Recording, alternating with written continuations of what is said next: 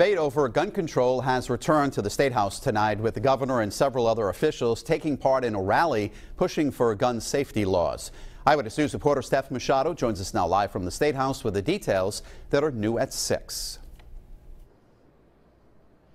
Raimondo is continuing to push lawmakers to take action on three gun control bills, a ban on assault weapons, a limit on the capacity of magazines, and a bill to ban guns in schools. Now, all three of these bills have been introduced in the past and have not moved forward. The governor tells me she hopes changes made to the bills this year and support from the state's new attorney general may make a difference.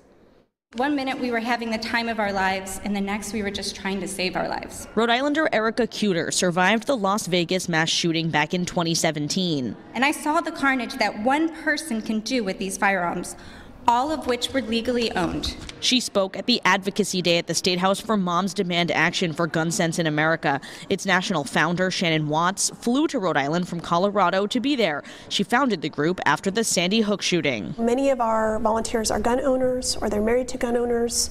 Um, this is in no way about undermining the Second Amendment. This is just about restoring the responsibilities that go along with gun rights. I think only serves one purpose, and that's to further an agenda which is anti Second Amendment.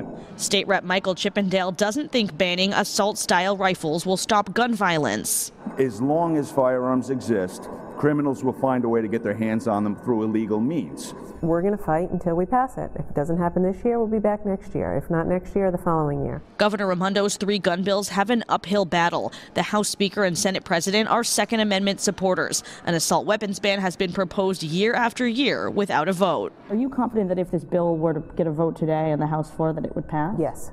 You are. Mm-hmm. But let's see. No reason not to try. Put the put put it out there.